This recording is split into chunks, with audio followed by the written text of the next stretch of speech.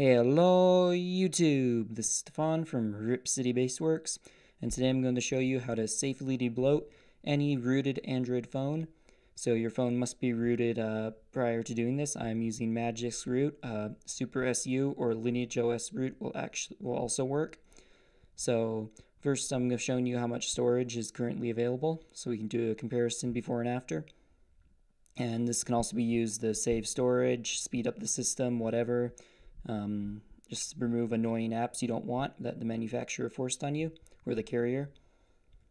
So you're going to want to search for um, root uninstaller.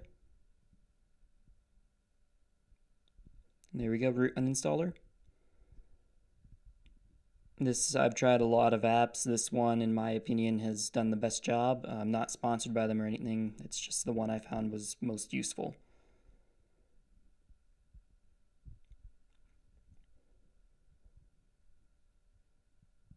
So after installing that, you're going to want to open it. And if you're on a old phone or a slow phone, it might take a while to load up like it does here. And then you're going to want to grant it root permission.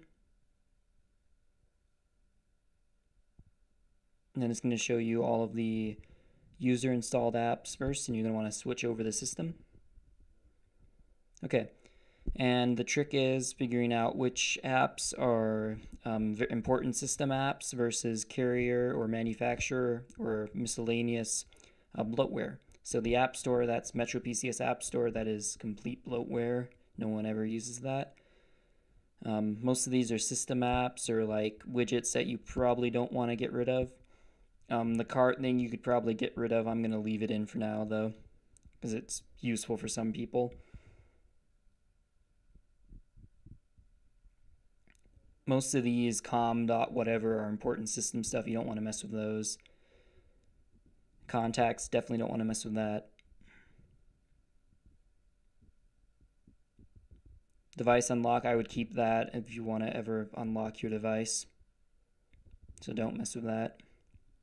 And not all phones are going to have that. Only T-Mobile or Metro PCS phones will have that app. Drive you can totally get rid of if you don't use it or you just want to download it from the directly from the Play Store. Duo, you can get rid of. Facebook, definitely. I recommend getting rid of that. I would keep the file manager. You want to be able to browse files, probably. FM radio, I would keep that because that's a useful feature at least. Gmail, you can get rid of that if you don't use it. I use it, so I'm going to keep it. Most of these Google apps you can get rid of only like play services you're going to want to keep and stuff. Books, games, movies and TV, music, all those can go. Newsstand. Definitely keep play services though. You're not going to be able to download apps from the Play Store if you get rid of those. I would keep the text to speech engine, that's pretty important. Google Plus, you can get rid of them. Uh, there's two versions of it for some reason on here. Hangouts, gone. I don't even think Google officially supports that anymore. I would keep HTC account.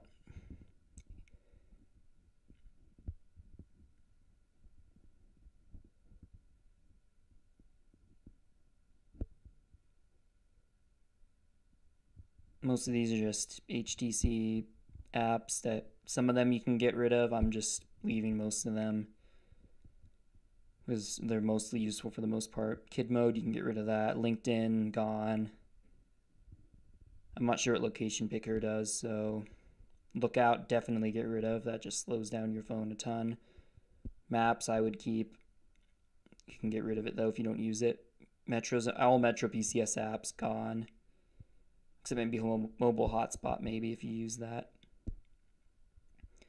Name ID you might want to keep if you're a Metro PCS customer.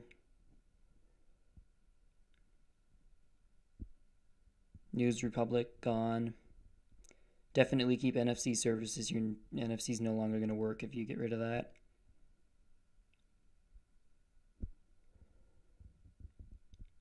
Don't get rid of any of the phone apps. You're going to be in for a world of hurt if you do that.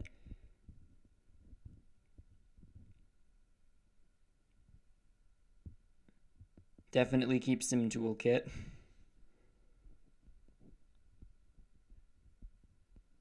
It says could uninstall for system UI, but don't do it. You're going to have a broken system. it's going to be bad. Your phone's going to crash every time it boots up.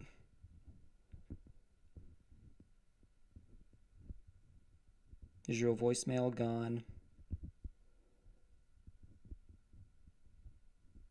Keep all the Wi-Fi stuff.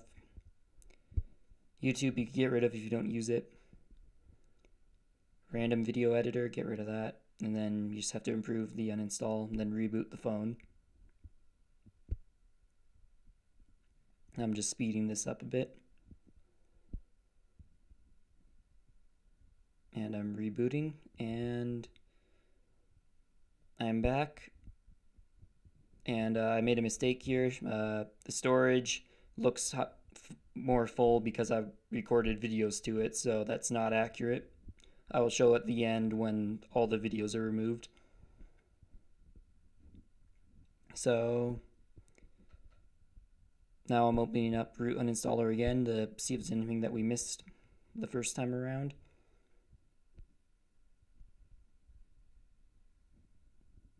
So back to system. And this is always good, just go back around a second time in case you missed anything. And to make sure all the apps are successfully removed, which in this case they were.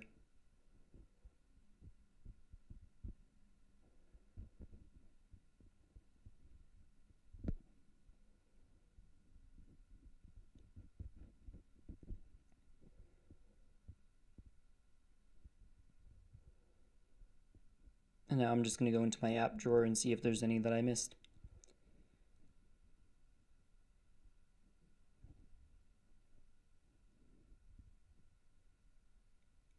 And look at that, something called Scribble, and then something called HTC.View and HTC Backup, neither of which are very useful.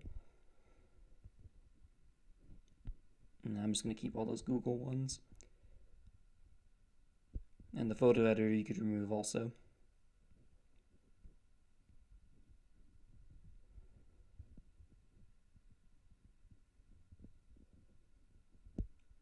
So now the problem is finding these apps. Sometimes they have weird names or are somewhat hard to find because the other apps share similar names. Like there's a legitimate backup service that shares a very similar name with the HTC backup that I want to remove. So you can usually tell by um, if it has like a com or something in front of it, that's usually something important. So HTC Backup Reset is actually important. That's uh, for restoring your phone to factory settings or whatever. So I'm looking for HTC Backup, so don't get confused by similar names. And if if you're unsure about an app, it's safer usually just to leave it unless you get more information about it. And there's HTC Backup, the one we actually want to get rid of, and there's HTC.View also. And you could remove HTC account and help and stuff, but uh, for this demo, it's not really needed.